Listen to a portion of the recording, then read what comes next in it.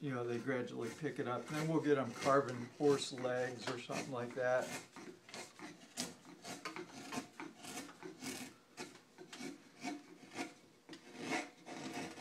Now, if I'm teaching carving, we teach people never to carve towards yourself. But any professional carver you watch spend 90% of the time carving towards themselves. And it's actually the safest way. Um, the trick is to, when you're, you know, your tools are razor sharp, you want to make it so that you've got a limited movement. Like, no matter what happens, this tool can't get me right now, pretty much. So you have an anchor, anchor your elbow or something like that. You can get an incredible amount of thrust behind your hand, but as long as it can't skate loose, if it breaks through the wood or something, you're pretty well safe. This sort of hourglass shape has complicated this tree compared to a lot of the easier wedge-shaped trees on the wedge shaped tree, all the grains go in one way. On this hourglass one, I gotta work a couple different directions. See where it sort of hung up there? That's because it started into the grain the other way.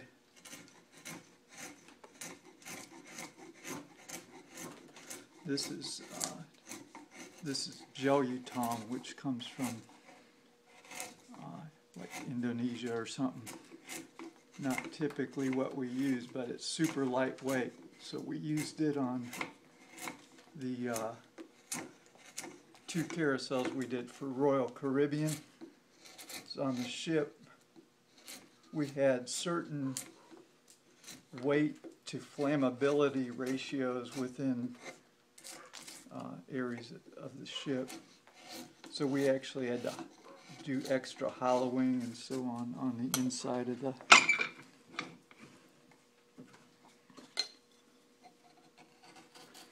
How long have you been carving? Uh, my first carving, let's see, it's probably about 34 years, something like that. And I think I started my first business carving in like 1982, something like that carving trout out in Montana. Jane and I had just been married a couple years, so probably about 30, 27, I don't know. I'm not good at math. That's why I'm a carver. a long time. But I've done, you know, a lot of my business has just been specialty woodwork. So not always carving, but kind of with an emphasis on carving. Are you going a certain depth every time? Or? Mm, on something like this, nah. I'm just giving it an overall texture. And this tool is really kind of small for this job. What, what is that particular tool called? Um, gouge, wood carving gouge. Gouges, they're, they're generally numbered and they go by the sweep, which is the radius of the curve. So this is a number 8 and uh, like a this is like a number 3. So they go up incrementally to a number 11 is almost a U shape. A number 9 is like a half of a circle. Um, then they go by the width, which most tools are in millimeters. So this is probably like a 815 or something like that. How often do you have to sharpen them? It depends. Like doing carousel carving all day, if I'm using the same, say, three tools for most of the day, I will we sharpen differently in an industrial setting because we're having to sharpen so much and fast. So it's not unusual to have to sharpen something or to at least buff the edge back out maybe three times a day.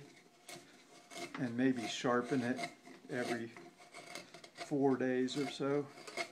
But it really depends how much, like here I hit that knot. If you have a lot of knots, then you're gonna lose your edge quicker. If you get a nick from a knot or from glue or something, then um, you're gonna have to sharpen that back out. It'll leave a big streak in what you're doing. I don't know why I picked up this little tool. It's actually a bigger tool. I could have surfaced this faster, but the little tool gives it interesting texture too. Even though a lot of this will get cut away in the next step.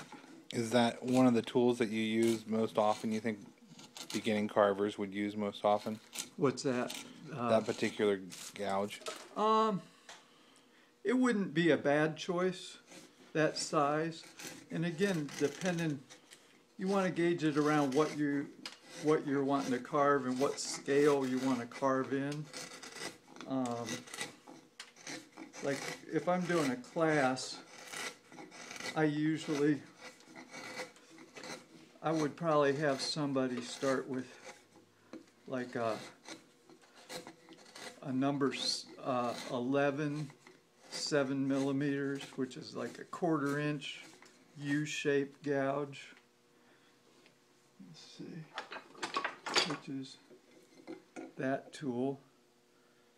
So, say if I wanted to have a a circle or something out here, these these 11s are great for doing like an outline.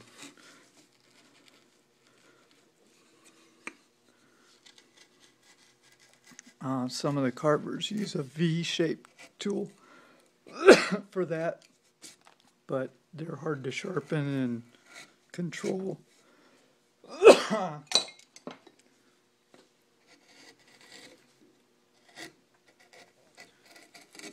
know, the basics of carving is, you know, outlining stuff and then bringing things down to your various levels.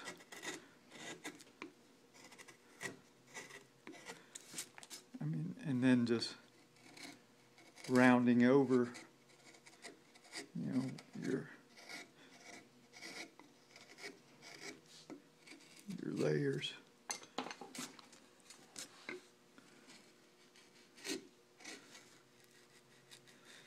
It's gonna look odd out in the middle of a Christmas tree, but just to kind of show you.